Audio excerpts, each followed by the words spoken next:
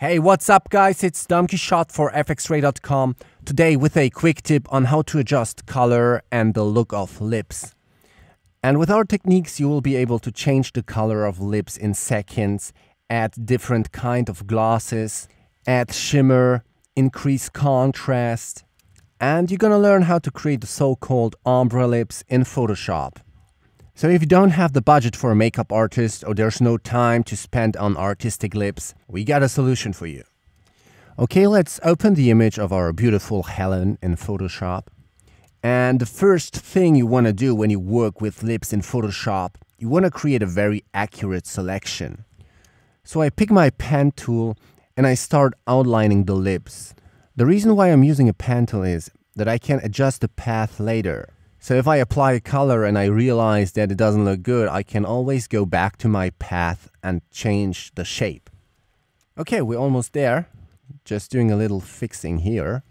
And what I want to do next, I want to select my work path we just created and create a solid color. The color actually doesn't really matter. And I click on a background layer to get rid of the path and to see if I did a great job. And I didn't, so I have to fix this one. And that looks a lot better. Only thing to do now is to feather the shape. So go to properties and feather with about two or three pixels. Well, that was the hard technical part. Now double click on the shape and let's get creative. First, set the fill opacity to zero.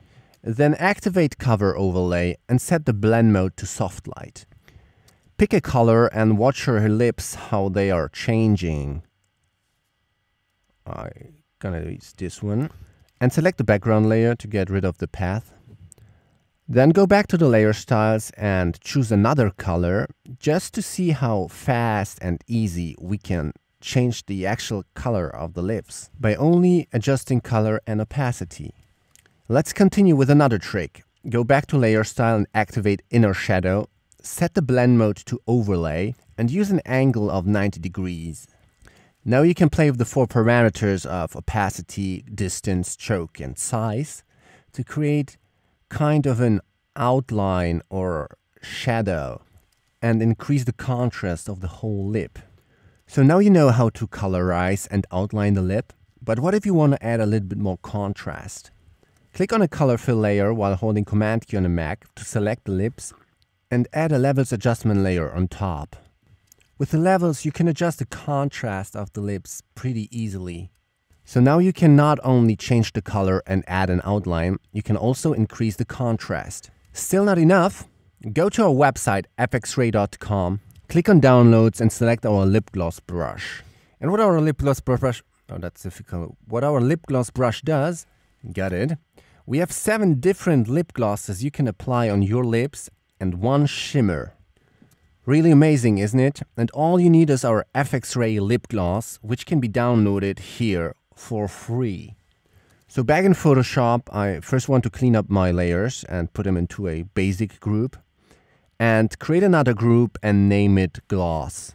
Inside this group, I'm gonna put a new empty layer and I'm gonna select my brush tool. Right click to open the brush dialog and load the brushes from our website and select the first gloss. First, you have to adjust the size of the brush since each lips are different. Here we go. And since lips are so different, we need to adjust the shape of our gloss. So we're going to select the upper reflection, press Command T on a Mac and go into warp transformation. It's not a big deal to transform the reflection, so pretty easy actually with the warp transformation, but make sure to do it pretty good. Okay, the upper reflection looks good, so now I select the other reflection and just reposition it. Although it looks good, it still doesn't look realistic. That's because we used white as a highlight. And if you look on colorized or color corrected images, pure white is not always the highlight. So double click on a layer and activate color overlay. Select the spot in the image where you can clearly see a highlight and pick the color. See how much better it actually looks? But there is one more thing you need to know when you add a lip gloss. An actual lip gloss would take out all the details of the lips. So that's what we're gonna do now. Make a selection of the lips and click on a background layer. Press Command J on a Mac to duplicate the selected layer and put it into our basic group. Go to filter, noise, reduce noise, and set the strength to 10 and the other values to 0. Definitely a lot better. Here without the reduction and here with. A lot better. Okay guys, let's go one step further. Create a new empty layer above our gloss layer and select the shimmer brush.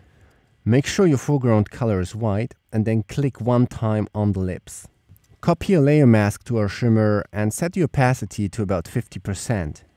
And now it's your turn to combine all of the layers and adjust the colors.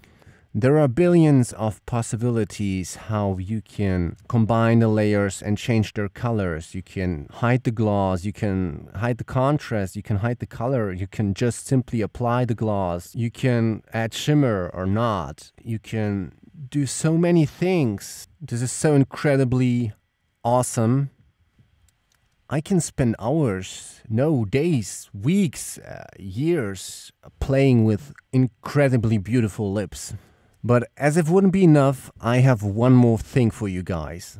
Deactivate all of our visible layers and create a new empty layer below the levels adjustment layer, which I name Ombre and I copy the layer mask.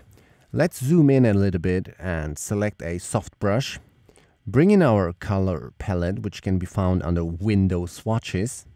And what I do now, I pick different colors to create a gradient on the lower lip, something from blue over red or orange to yellow. I mean, you can do whatever you want. And a gradient from red to purple on the upper lip. Let's do some fixing on here. and set the blend mode to soft light. Uh, pretty cool so far. Let's add a little bit more shimmer and gloss and contrast and set the ombre layer to about 50% or 60. And I want to add a different gloss. So I'm going to hide this one and create a new empty layer. Select my white brush with the second gloss and adjust the size Okay. And same here, I need to adjust the shape of the gloss. So select warp transformation. Pretty quick, but still accurate, of course. And I think we're done. Okay, guys, that's it. I hope you enjoyed our tutorial. More on fxray.com. My name is Dom Quichotte. Take care.